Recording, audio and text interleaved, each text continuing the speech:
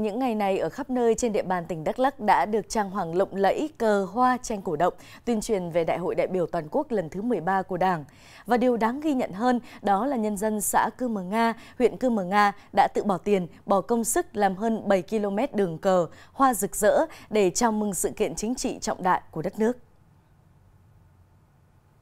Với tinh thần đoàn kết, chung sức, chung lòng, người dân thôn 1 xã Cư Mờ Nga đã tự bỏ tiền, mua sắt, vật liệu, bỏ công cắt hàn để xây dựng, trang hoàng 7,4 km đường cờ hoa rực rỡ, tạo khí thế vui tươi phấn khởi trước thềm đại hội 13 của Đảng. Trước thềm đại hội thì à, bà con, à, à, cái tinh thần của bà con thì rất vui vẻ, phấn chấn, toàn là thi đua lập thành tích chào mừng, cả, cả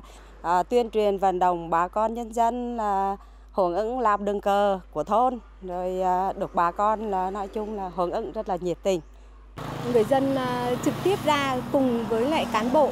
thực hiện các cái công đoạn. Thứ hai nữa là tự ý thức à, dọn vệ sinh môi trường rồi cùng nhau thực hiện các cái công đoạn. Chính vì vậy mà cái chi phí mà để thực hiện cái đường cờ thì nó cũng giảm đi rất là nhiều. Thứ hai nữa là tạo ra cái không khí rất là uh, nô nức phấn khởi trong từng cộng đồng dân cư và mọi người dân đều cảm thấy rằng là rất là phấn chấn trước cái thềm đại hội thứ 13 của đảng một số tuyến đường ở trung tâm huyện Cư Mờ Nga cũng được trang trí cờ hoa rực rỡ, tạo nên sắc màu vui tươi phấn khởi trước thềm Đại hội đại biểu toàn quốc lần thứ 13 của Đảng và đón chào Xuân Tân Sửu 2021.